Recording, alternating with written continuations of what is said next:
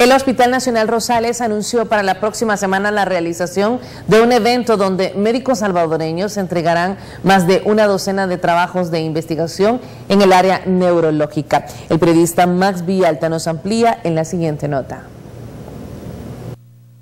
Desde el año 2006, el Hospital Rosales aumentó su capacidad para atender de manera especializada a los pacientes con enfermedades neurológicas, entre ellas los accidentes cerebrovasculares, cefalea, esclerosis múltiple, enfermedad de Parkinson y epilepsia, entre otros.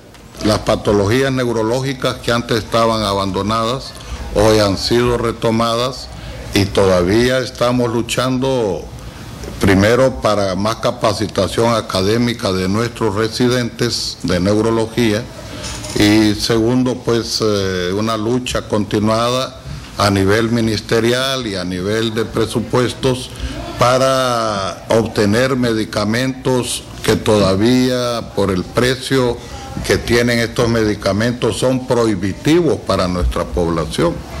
Pero el área de neurología no solo se limita a la atención de pacientes.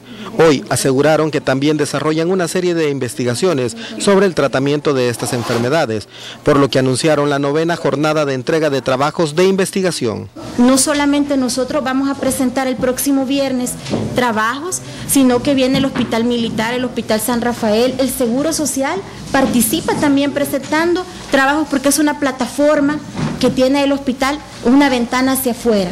Dentro de los temas vamos a abordar lo que es el evento cerebrovascular, viene también una caracterización de epilepsia de, una reciente medicina interna del San Rafael y dentro de, la producción nuestra están eh, residentes de neurología con estudios sobre neuromielitis óptica, como mencionaba la doctora, y lo que es el perfil de otra de las enfermedades que es bastante severa y que tiene pocos datos investigados aquí en el país, como la esclerosis lateral amiotrófica.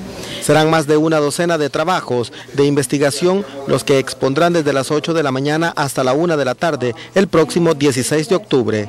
Max Villalta para Tele 2.